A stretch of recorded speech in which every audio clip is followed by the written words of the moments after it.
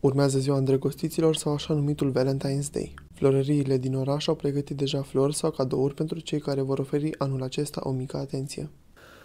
Ciocolata sau florile sunt preferatele celor care oferă cadouri. O astfel de ciocolată, de exemplu, în această florărie se vinde cu aproximativ 50 de lei, iar prețul le estimează între 10 și 50 de lei. După o discuție cu reprezentanții florăriilor, aflăm că trandafirii sau lalelele sunt preferate de către cetățeni.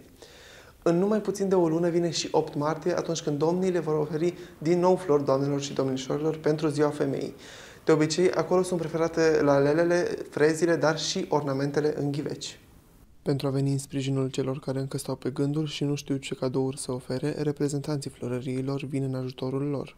Ce le-ați uh, spune să cumpere? Ce le-ați... Uh, Părerea mea este cu un trandafir, fie la fir, fie la buchet, niciodată nu se dă greș.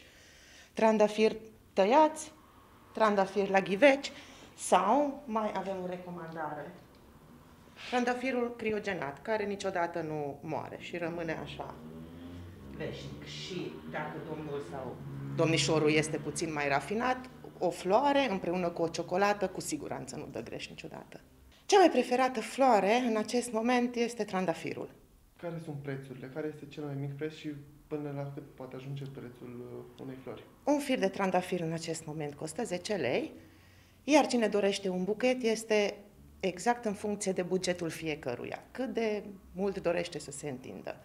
De la un buchet de șapte fire, în jur de 70 de lei, 110, 200 de lei, deci chiar este în funcție de cerințele clientului. Eu uh, aș recomanda și aranjamente puțin mai rafinate, dacă sunt domni care ar dori să facă cadou o bijuterie, eventual, și nu, încă nu și-a găsit ambalajul perfect, Putem veni în întâmpinarea lor cu această cutie care are un sertăraș și aici poate să pună exact ceea ce dorește.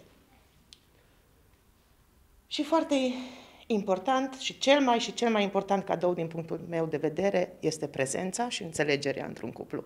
Potrivit Wikipedia, ziua îndrăgostiților, numită de asemenea ziua Sfântului Valentin sau sărbătoarea Sfântului Valentin, este sărbătorită anual pe 14 februarie. Ziua îndrăgostiților este recunoscută ca o semnificație culturală, religioasă și comercială de dragoste și dragoste romantică în multe regiuni din întreaga lume, deși nu este o sărbătoare publică în orice țară.